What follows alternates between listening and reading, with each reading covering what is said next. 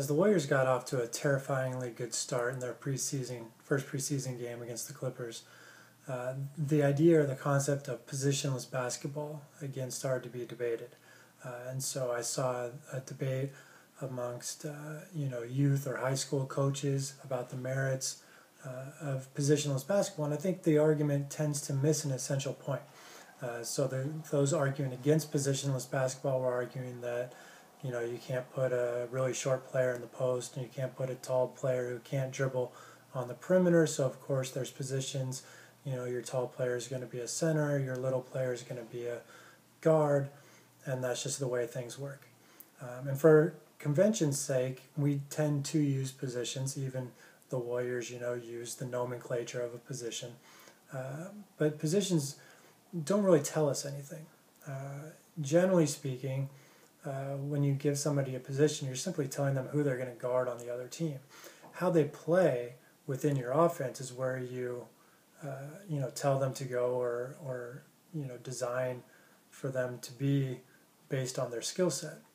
And so I think that's the difference that we need to uh, look at when we think of positions. We tend to pigeonhole people into positions based on size. Um, when we think about you know the idea of positionless basketball, we're thinking more about utilizing skill sets. So it doesn't matter if the player is short, if they can play in the post and score in the post, why not put them in the post? If the player is uh, you know tall, but it can shoot threes like a Dirk Nowitzki or a Porzingis, why try to make them you know into a center, you know, or have them you know only play close to the basket?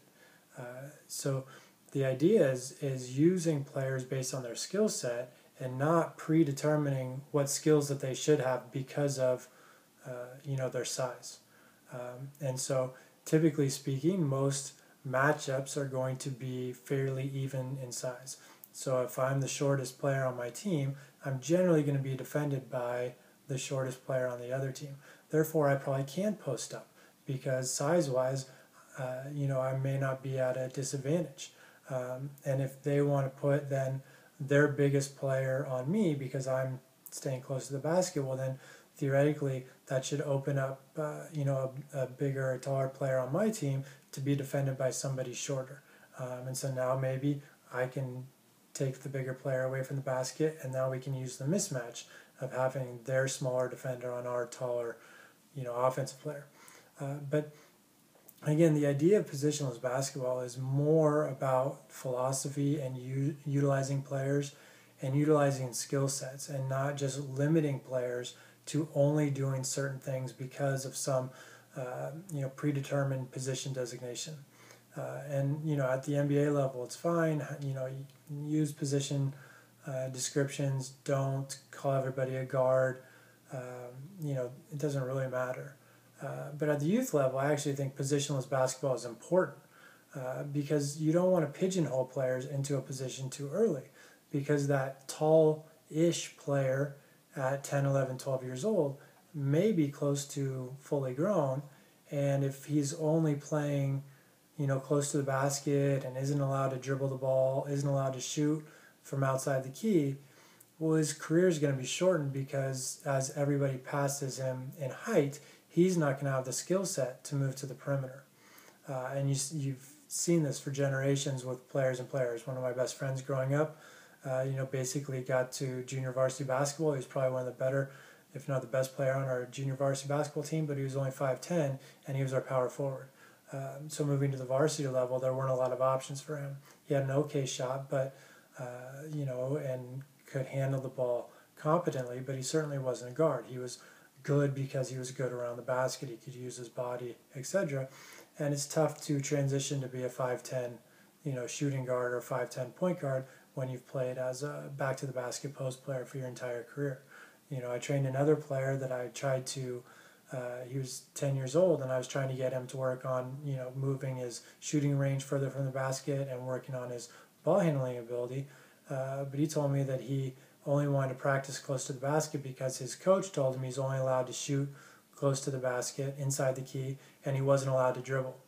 Uh, and this was a 10 year old, and it was a 10 year old who was about an inch shorter than his father.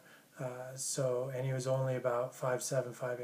So he was probably close to fully grown. Um, you know, was probably never going to get past 5'10, uh, you know, in his adult height. Um, but we've already determined that he can only play basketball as long as he's tall enough to be a post player. Um, because those are the only skills that he was allowed to practice and develop and use in games. Um, and so instead, I think at the youth level especially, we need to embrace this idea of positionless basketball and allow all players to develop all skills.